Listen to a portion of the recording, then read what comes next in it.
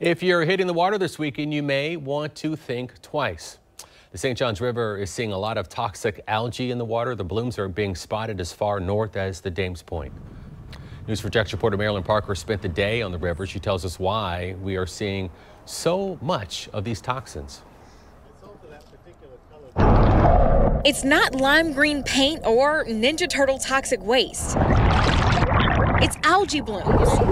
Biology and marine scientists say it's toxic and harmful to you and your pets. This particular type of cyanobacteria, known as microcystis, it can adjust its buoyancy and it tends to gather at the surface. And so your animals can come out of the water with this algae on their fur, they may lick it off, and they can die within a matter of hours. The algae are also indirectly harming marine life in the river. You get a proliferation of algae. What does it do? It shades all the grasses that the manatees like to eat. And so if that gets shaded, it dies.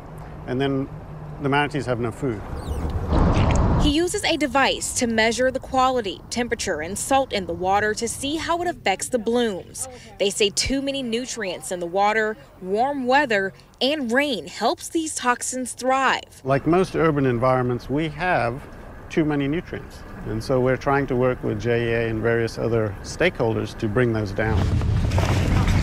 The Department of Health Thursday says algae was spotted at Dames Point.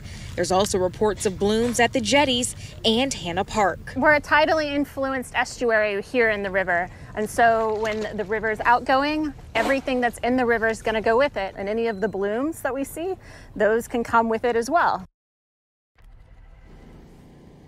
And once the water cools, I'm told the blooms will die off. One way you can help this is to not put as much fertilizer in your yard. That's going to eventually end up in the water. The Department of Environmental Protection has a dashboard available on their website for you to report algae bloom sightings. We have that information available right now on news4jax.com. Reporting live, Marilyn Parker, Channel 4, the local station.